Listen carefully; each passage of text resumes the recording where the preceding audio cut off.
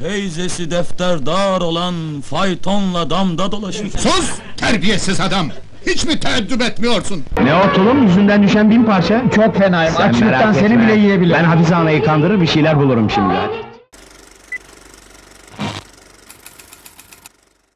Onun bir benzin istasyonunda pompacı olarak çalıştığını öğrendiğimizde adaletsizliğe bir kez daha kızdık içimizden. Çünkü yıllarını tiyatroya adamıştı ve buna layık bir karşılık beklerdik.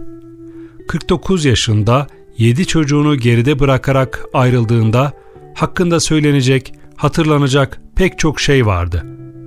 99 depreminde enkaz altından çıkarıldığında yanında sadece Halit Akçatepe vardı sanat dünyasından.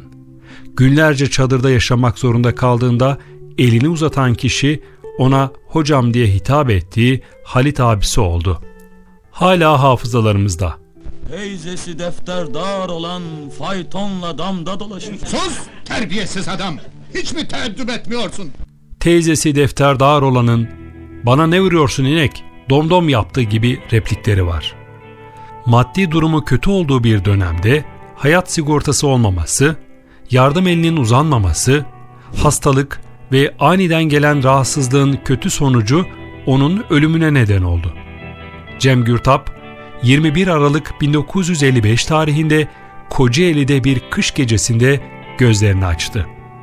Eğitim hayatına burada başladı. İlkokul, ortaokul ve lise eğitimini tamamladıktan sonra tiyatro oyunlarında amatör olarak rol almaya başladı. Bu şekilde uzun bir süre devam ettikten sonra gazete ve dergilerin yayınladığı oyunculuk ilanlarına başvurdu. 70'li yıllar ona şans getirecekti. Oyunculuk kariyerine 1975 yılında Sınıfta Şenlik Var isimli sinema filmiyle başladı. Ancak gerçek çıkışını aynı yıl gösterime giren Hababam sınıfıyla yaptı. Filmden sonra tanınan bir isim haline geldi. Milyonlarca kişi tarafından biliniyordu. Replikleri, Domdom Ali ile yaptığı bilek güleşi, açlıktan kıvranması gibi her hareketi hafızalara kazındı. Tulum Hayri karakteriyle dört filmde de başarılı bir performans sergiledi. Bu filmlerdeki seslendirme çalışmasını usta oyuncu Şener Şen gerçekleştirdi. Ancak 70'li yılların ortalarından itibaren yetişkin filmlerinin piyasayı ele geçirmesiyle popülerliğini kaybetti ve yıllarca ekranlardan uzak kaldı. Ne o tulum yüzünden düşen bin parça? Çok fenayım. Açlıktan seni bile yiyebilirim. Ben Hafize Ana'yı kandırır bir şeyler bulurum şimdi. Bu dönemlerde Beyhan Hanım'la evlendi ve bu evlilikten 7 çocuğu oldu. Yıllar hızla geçerken yaptıklarını ne filmlerde ne de dizilerde göremedik. Hababam sınıfından hatırladığımız olsa da zamanla onun neler yaptığını unutuverdik.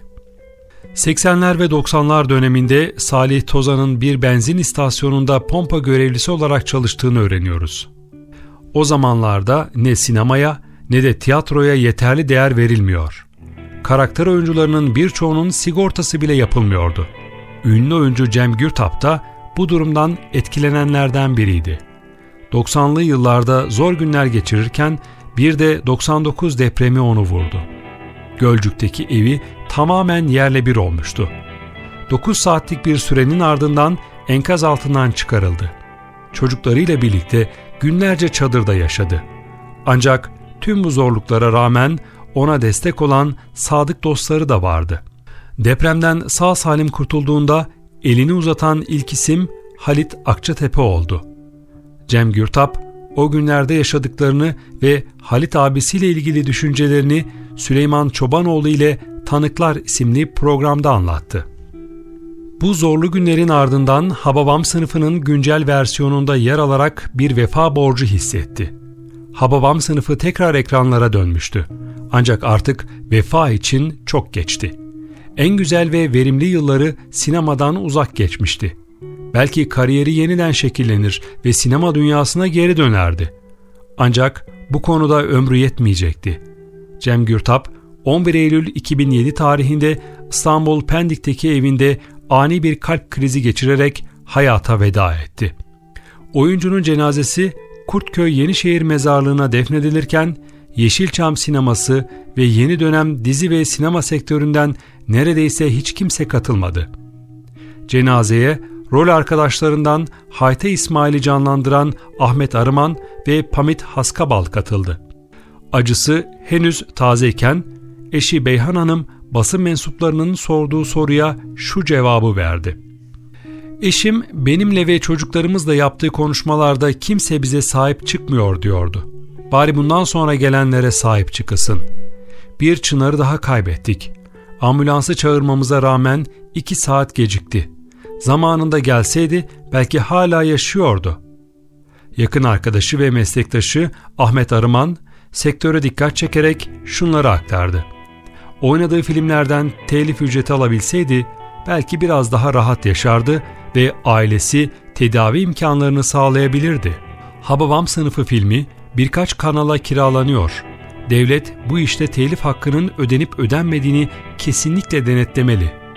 Bakır Niyazi rolüyle hafızalara kazanan Hamit Haskabal, vefasızlık konusuna vurgu yaparak yaşananları şöyle anlattı. Arkadaşımızın cenazesine böyle bir günde hiç kimse gelmedi. Ben 8-10 yıldır Pendik'te oturuyorum. Halk burada beni çok seviyor. Ancak sanatçıların ölümüne karşı vefasızlık yapılıyor. Demek ki ben ölsem cenazeme hiç kimse gelmeyecek. O belki çok az filmde yer aldı. Ancak zihinlere unutulmamak üzere kazındı. Cenazesine az sayıda insan katıldı. Ama yaşarken hak ettiği değeri göremese de o bir nesil için en özel oyunculardan biri olarak kalacak. Ve her Hababam sınıfı filmini izlediğimizde yaşadıkları bir kez daha gözler önüne serilecek. Onun yüzü, onun replikleri 10 yıl sonra bile söylenmeye ve hatırlanmaya devam edecek. Sinemanın vefasızlığını derinden yaşayan, hayatını kazanabilmek için mesleği dışında birçok iş yapmak zorunda kalan, ülkemizin yaşadığı felaketlere birinci elden şahit olan, zaman hızla ilerlerken o hüzün dolu yüzüyle bir dönem bizi kahkahalara boğduğumuzu hatırlatan bir Cem Gürtap bu dünyadan geçti. Bu tarz içeriklerin devamı için kanalımıza abone olup, videomuzu beğenip görüşlerinizi yorumlarda belirtmeyi unutmayın. Diğer videolarımızda görüşmek üzere.